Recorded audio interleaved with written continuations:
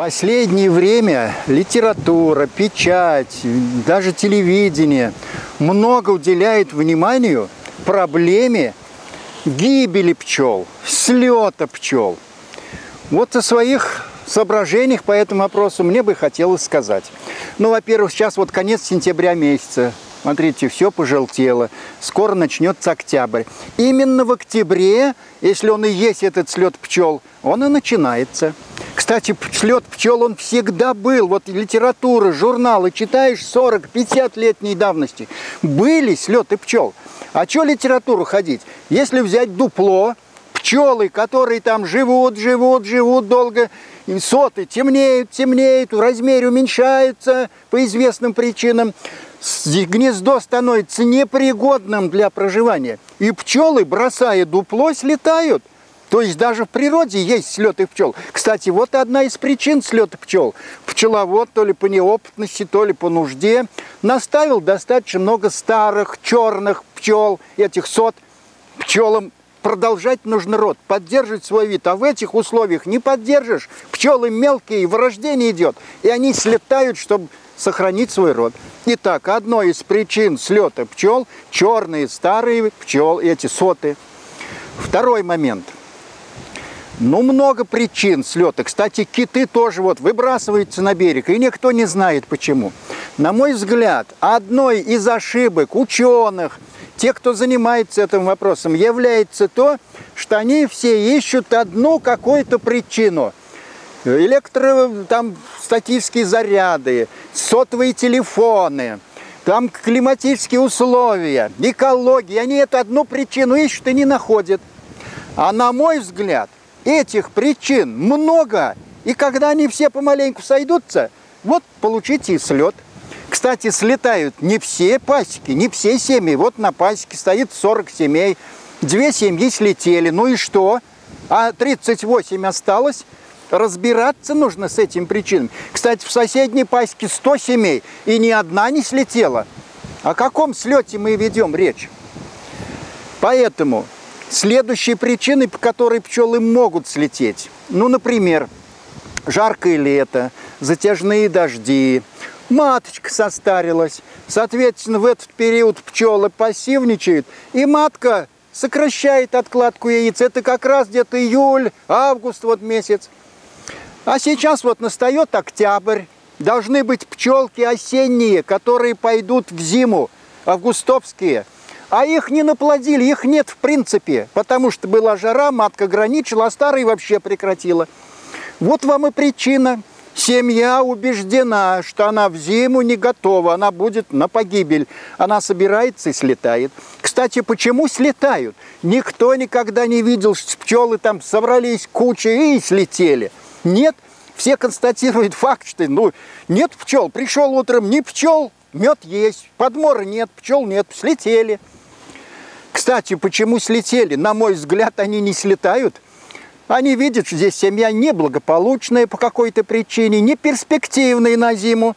Они потихоньку в течение одного, двух, там, трех дней, а то и в один день разлетаются по другим ульям. Не слетают куда-то и нету их, а разлетаются по другим ульям. Таким образом, не слет, а разлет по другим ульям. Следующее, на мой взгляд, одной из причин слета пчел может быть следующее. Вот когда жара, когда нет взятка, когда какие-то условия собрались, сильно активизируется клещ вора. Он буквально их вы, все крови выпитывает из пчел. Начинается обработка бипинчиком или чем против клеща, но уже поздно. Семья ослаблена, обескровлена. И, казалось бы, обработали бипинчиком, но пчелы слетели. А причина – излишний клев, вспышка буквально клеща вора, который обескровил всех пчел, обессилил. Они почувствовали, что они в зиму не доживут и не переживут зиму. И они слетают или разлетаются по другим ульям. Вот вам следующая причина. Поздняя подкормка. Некоторые то ли в своей занятости, пчеловоды, то ли там думают еще рано. Поздно подкармливают сахарным сиропом. Не в августе, в конце где-то там, ну в крайнем случае до первых чисел сентября, а в середине сентября, в конце сентября. Это плохо. Пчелы изнашиваются. Но я считаю, не столько там их железы изнашиваются, сколько. Когда пчела получает хороший взяток – перерабатывай ее. Это ее нормальное, естественно, в ней назначение перерабатывать и перерабатывать нектар. Вот она получила дозу сахара. Она ее перерабатывает, перерабатывает. Но в период активной переработки сахара или нектара у всех пчел сильно развиваются восковые железы. А для восковых желез обязательно нужно пыльца. А пыльцы-то в сентябре, в октябре уже нету. Нечем развить железы восковые. И идет расход зимних запасов для развития восковых желез при подкормке из организма. И пчелы слабевают. Ослабевают не потому, что железы переработались. Кстати, если они стоят на подсолнечнике, там 60% сложных сахаров. Это переработать хуже всякого сиропа.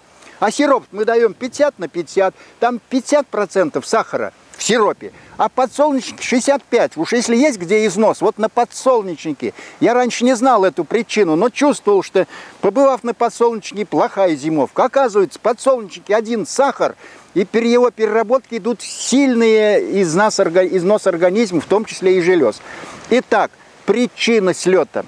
Поздняя подкормка – в результате чего развились железы восковые, а пыльцы нету, за счет зимних запасов пошло развитие желез. Пчела ослабла и чувствует не перспективу вся семья, что мы не выживем, они слетают или разлетаются. Вот вам следующая причина – поздняя подкормка. Ну и, наконец, если собрать все в кучу – Здесь погода была не очень хорошая, дожди, жара. Здесь взяток пропал, здесь маточка старая, здесь клещ вора, здесь подкормили поздно и так далее. Все это, когда вместе соберешь, мне, например, понятно, у пчел получается отвращение от этого гнезда. Жить здесь невозможно. И они слетают, а я в скобочках себе или вам говорю – ну, не слетают, разлетаются по другим ульям. Но эта семья прекращена, ее деятельность и существование прекращено. Кстати, вот опять секрет. Ученые думают над этим вопросом, придумать не могут. Со слетевшей семьи, которая пустела, никто никогда не ворует мед. Казалось, пустой улей, все корма, гнездо готово на зиму. Октябрь месяц, собственно, все уже. Пчелы слетели – и этот мед больше даже при наличии погоды никто не берет. Он стоит, тоже вот загадка природы.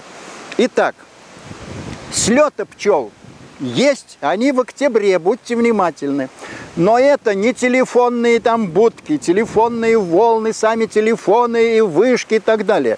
Это целый комплекс мер, по одной из которых или в комплексе пчелы и раньше слетали, и слетают сейчас. Никакой беды, ни гибели пчел, ничего нету.